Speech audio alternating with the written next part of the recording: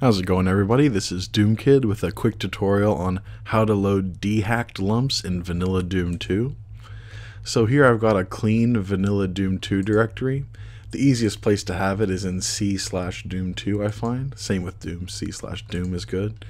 I've got only the essentials that I need to run Doom 2 in this program, uh, in this directory rather. So sometimes you'll download a WAD that only comes with DE and WAD and you'll wonder, hmm, how do I load this in vanilla? So first you want to extract it to your Doom 2 directory. Then you want to download dehacked, which I'll have a link to in the description.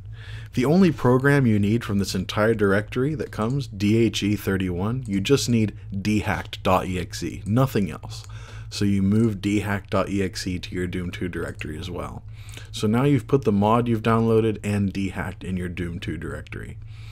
Now you'll use DOSBox to actually launch Doom 2.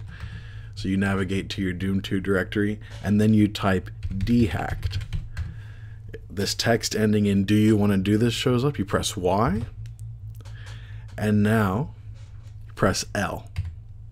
Hit Y when this window comes up.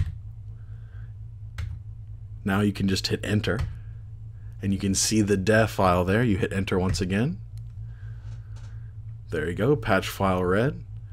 So you just hit enter. And now you press W. That writes it to an exe called doomhack.exe. Now you can just hit escape and you type doomhack. So what this is, you can see there that doomhack that's been generated 346 and you can see it was created 346. So that implemented the changes from the deh file into your exe. So now, if you want to keep this mod around and play it a bunch, you could even rename this to whatever you want. But I'm just going to leave it as Doomhack. But the point is, if you rename it, you can put multiple mods in here without um, any issues of them overlapping. So now I'll type Doomhack that accesses that new exe file mohawks.wad because usually the de and the wad will have the same name. They should if they go together. Um, you need the deh file. It won't load properly in vanilla without it. Um, and in ports, you can simply select both and load them in your launcher or copy and paste them. But in vanilla, you need to go through this process. So now after all that rambling, let's see if it actually works.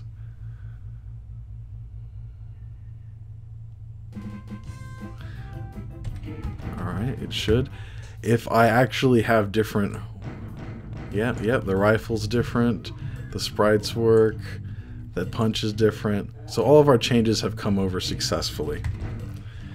So this is how to load a DE file, also known as a dehacked file in Vanilla Doom 2. Hopefully you find this helpful, and I actually have a tutorial on creating dehacked mods if you'd like to make your own versions of these to distribute for people. Anyway, hope this helps you.